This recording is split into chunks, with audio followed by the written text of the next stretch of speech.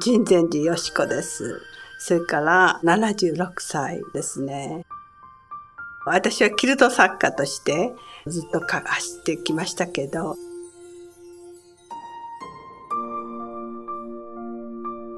1983年からインドネシアへ入りまして、青竹染め。私が発見したものだ。竹はもう全然違います。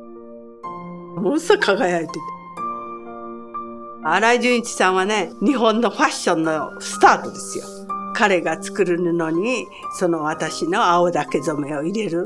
それによって彼の作品はもっと良くなるよね。いろいろ一星さんだとかね、山本洋二だとか、皆さんと一緒になって、ああいうファッションデザイナーの人は、形が主に形だとか、その次のことをプロセスをやって、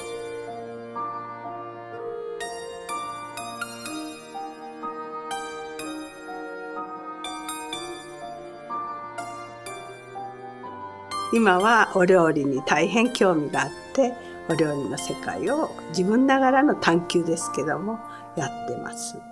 このキッチンハウス120坪のお家なのここ。別にこれずっとつながってる一つのキッチンやからね。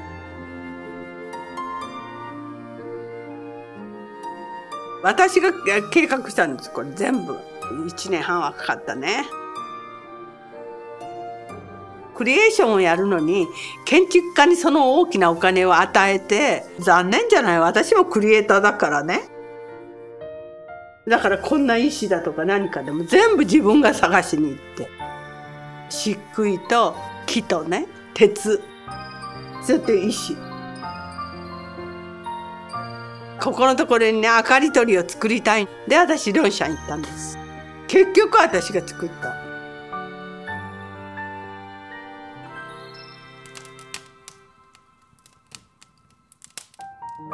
私ね、あまりにも人生ね、忙しかった。バリと京都300回通いましたから。それぐらいのことを25年間通ってたんで、私はやってきたんですよ。それで、やっぱり食べ物が一番おろそかになった。結局それが体を全部崩してて、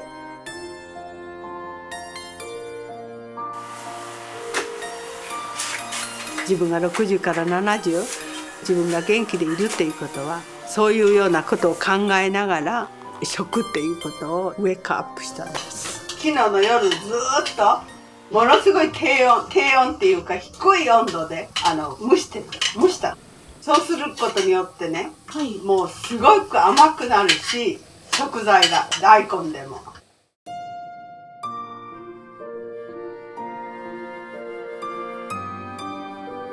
だからまず一番にもうああいい匂いがするわってそんなんやったら食べたいわっていうそういう気持ちに人をさせるそれが一番大事なことね。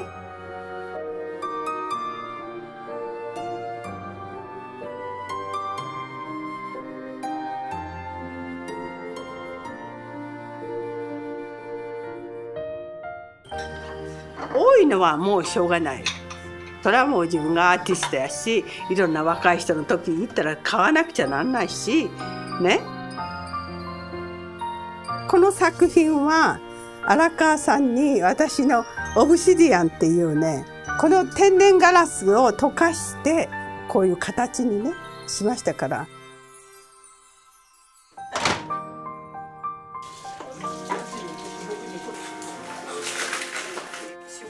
あまあ時々しますよお呼びしてこのご家族にはものすごいお世話になったなっていう方がいるやない？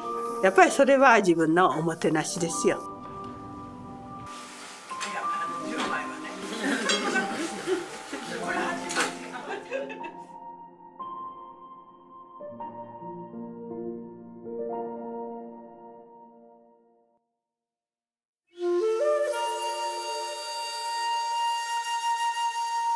お茶室だけは別の。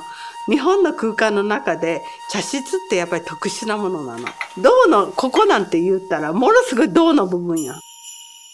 性のね、サイレントっていうのが茶室ですよ。それを二つね、お家の中でちゃんと持たないとダメなのバランスが取れない。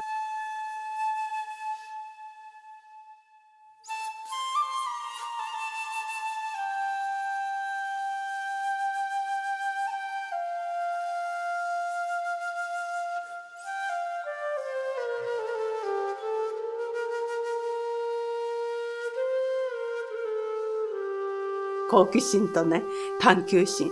だから、まあ、この年になってね、一番その探求することがなければ、もう私なんかもう死んだ方がマシだなと思うぐらい、探求することが一番好きです。いろんなこと。うん